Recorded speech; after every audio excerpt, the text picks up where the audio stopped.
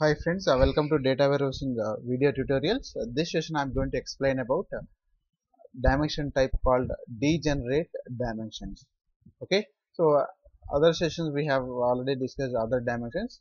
This uh, degenerate dimension means if you look at this diagram, I have a fact table. Normally fact tables means foreign keys and whatever you have a measures will be there, right? Whatever you have a measures like sold quantity if you're talking about a sales fact a revenue uh, fact maybe unit price like other foreign keys but some rare scenarios you will be adding additional columns like a bill number if you are going for order fact. You can uh, some uh, tables you can find order fact order transaction fact order number order line number.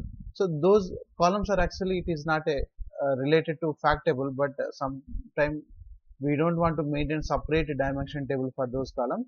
What we will do we will maintain those columns also in fact table this type of facts will be calling as degenerated dimensions. Degenerate dimensions. Actually this is a fact table but some of the dimension columns we don't need to maintain additional dimensions for that. What we will do those columns will be maintaining in fact table itself that type of table we will be calling as degenerate dimensions. Remember this fact table itself some of the dimension columns will be maintaining instead of going for another dimension table. Why? Because if you have a order fact table, order number, order line number, so I don't want to maintain this data into separate dimension table.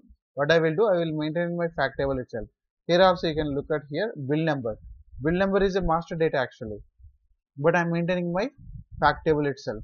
So this type of dimension table, sorry, fact will act as a degenerated dimensions, degenerated dimensions. So thank you for watching my videos. Uh, please uh, subscribe my channel to get more videos and updates my channel. Thank you very much.